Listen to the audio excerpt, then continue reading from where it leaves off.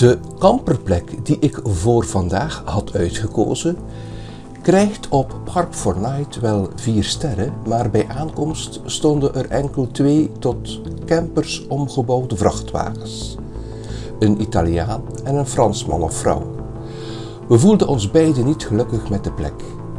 We hebben samen al jaren de afspraak als één zich niet op zijn gemak voelt, dat er niet gediscussieerd wordt en we onverwijld een andere plek opzoeken. Ik stelde een camping voor in Grenoble. Daarvoor moesten we wel terugkeren door het centrum van Grenoble met een bijna aanrijding van een dame die ons plots van rechts de weg afsneed om links in te slaan.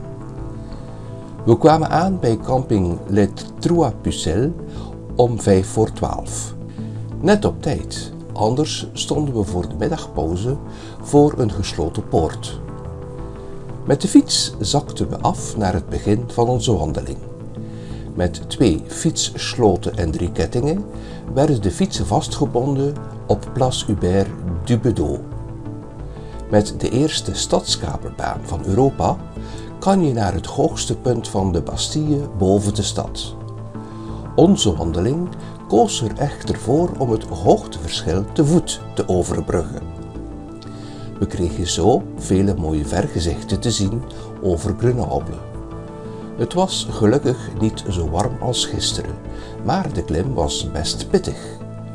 De route was niet altijd zo duidelijk, zodat we zelf een eigen route uitstippelden via onze digitale kaart. Terug naar het centrum van de stad liepen we over een GR-pad, zodat ik me direct in mijn sas voelde. De oude binnenstad van Grenoble is autovrij. Er rijden wel fietsen, steps en een tram. Het was er ook behoorlijk kalm. Maar de luchtdruk begon plots snel te stijgen. Deuren van winkeltjes werden gesloten, stoelen op terrassen werden snel gestapeld en in veiligheid gebracht. De wind kwam snel opzetten. De lucht werd asgrauw en even later brak een onweer in alle hevigheid los. Gelukkig hadden we wat regenkledij mee, want er was regen voorspeld.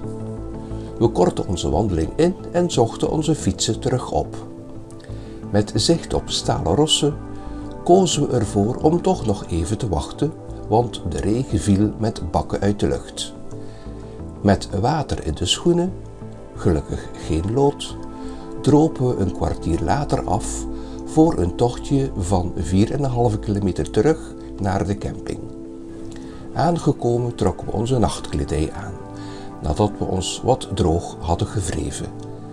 Straks kunnen we gelukkig nog een douche pakken. We beloven om ze terug te zetten.